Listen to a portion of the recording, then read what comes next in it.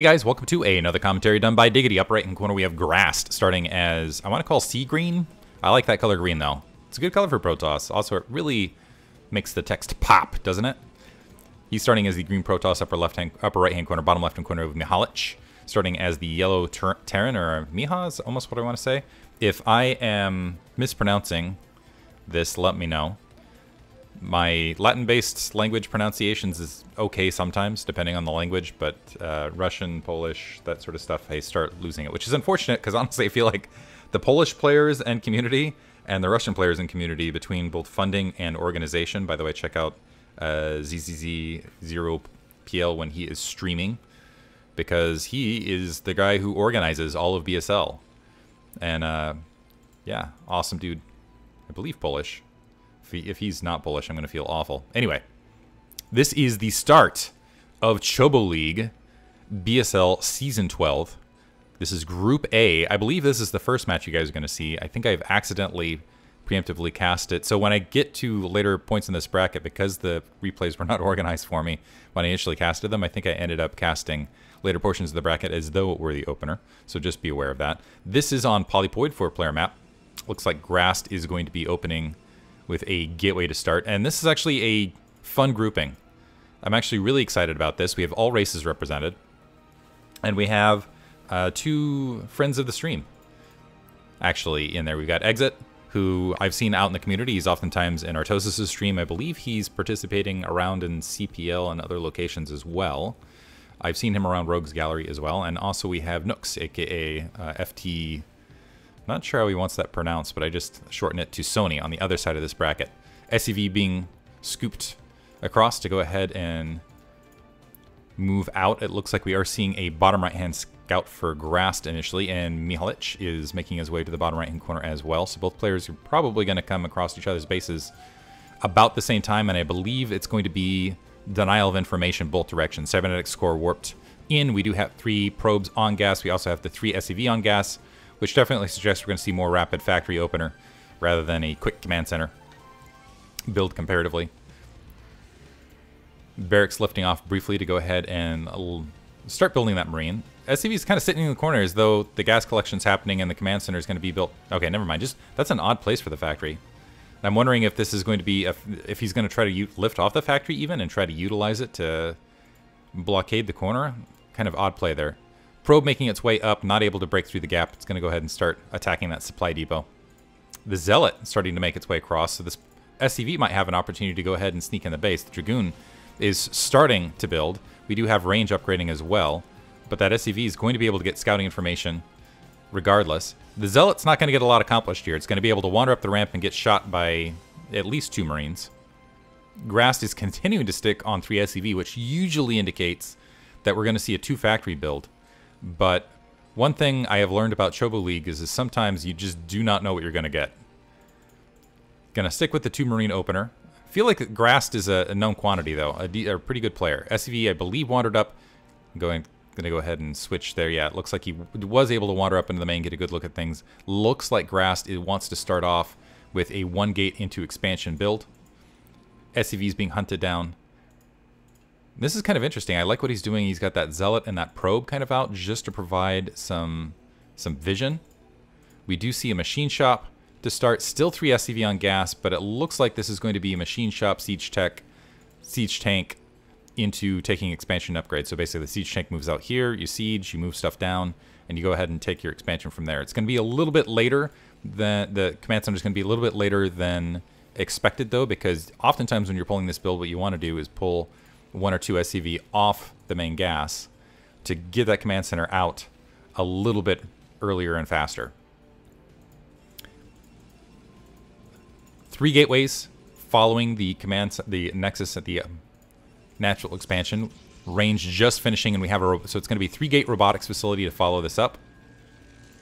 From Grast, two Dragoons and Zealots trying to peek in this natural expansion. They want to try to deny a potential command center as long as possible. And it's kind of was looking for it, was looking for it kind of on the ground, but you can see just a little bit off timing.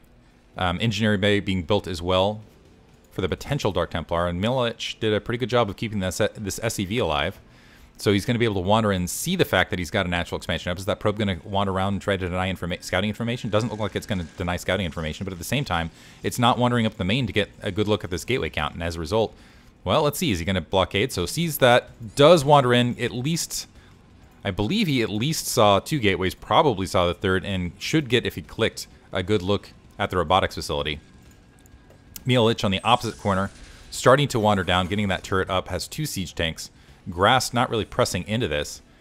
And Mihalych playing very, very cautiously, which gives opportunities for Grast to push ahead economically if he opted to do so. Getting another siege tank, getting an initial shot on that Zealot uh, with double hit. And I don't know that Grast could get a lot accomplished unless, unless the siege tank wanders further out, and actually the engineering bay even wandering out to go and uh, go ahead and plant out here in the front. Mihalych playing this very, very cautiously. Looks like Grast is already setting up to go ahead and take his 12 o'clock base, realizing that Mihalych has gone for more of like a defensive enclosed Terran play. He's popping down another factory, still sitting on the single machine shop, and it looks like what he does want to do is he wants to start, he's already starting to produce vultures. I do not see vulture speed upgrade just yet. It's possible he's going to go for the kind of 9, 10, 11 minute timing somewhere around there. But if he's doing that, he's going to do it without an armory and without that level 1 weapons upgrade. Oftentimes you'll see players sitting on lower amounts of factories to run that up. Uh, so Mihalych just going ahead and macroing up. He's getting some additional siege tanks. There he's getting Vulture speed.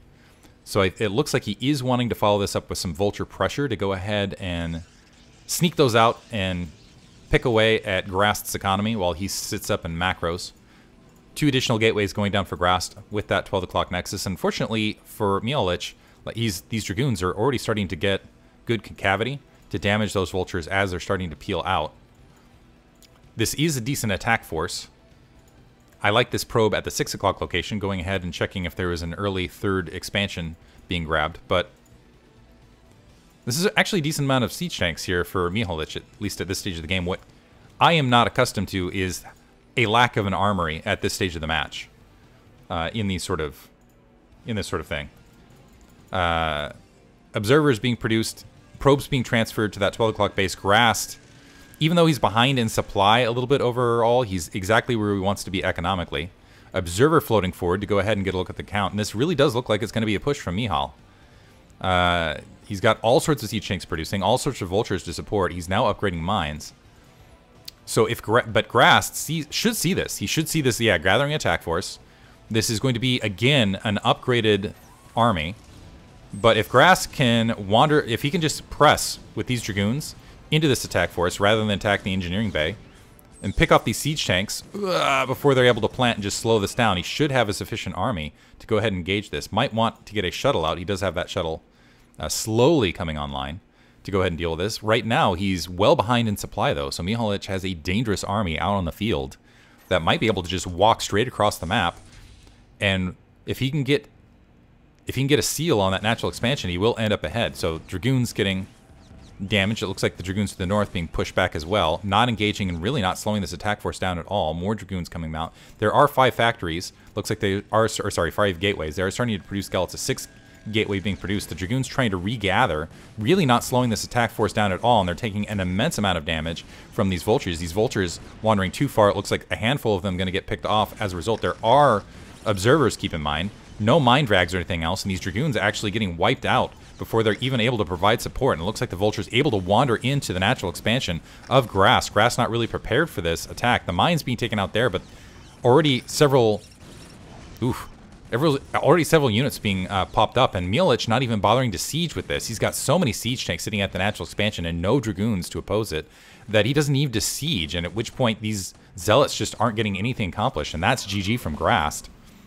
Just not prepared for Mihalych doing a, yeah, nine-minute push with no upgrades and straight through. That's I got to admit, that's a timing attack I have not seen, but obviously very, very effective. Hope you guys enjoyed it. We will move on to game two between Grast and Mihalych momentarily. GG.